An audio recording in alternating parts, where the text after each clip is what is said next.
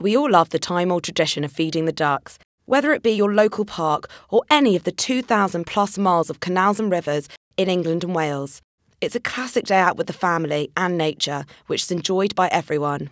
But when it comes to feeding the ducks, are we making the right choices?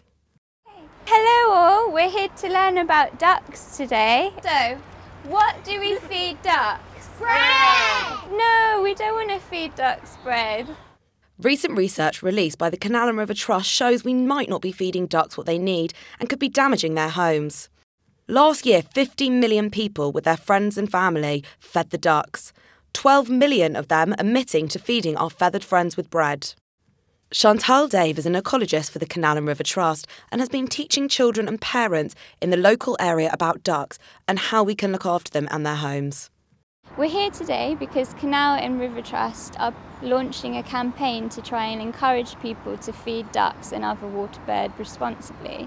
When we go to feed the ducks, we're going to their home and we've got to respect their environment. Obviously, people normally go to the same spots to feed the ducks, so why not actually just head up sort of a little bit further up the towpath, you know, go and find a new family of ducks, feed them instead, but also remember don't overfeed them. Like I wouldn't eat sort of a whole loaf of bread, it's not great for a duck either, and they're also quite a lot smaller than us. Every month, 20 double decker busfuls of bread are thrown into the waterways and canals. This is a lot of bread. This will clog up the water, it will cause algae to grow more quickly. The ducks won't eat it all.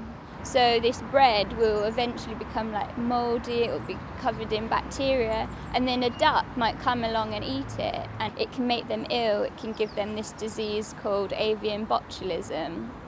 Bread isn't part of a duck's natural diet. We should be feeding them things more like oats, corn, fruit, vegetable, even frozen peas. So, what should we feed ducks?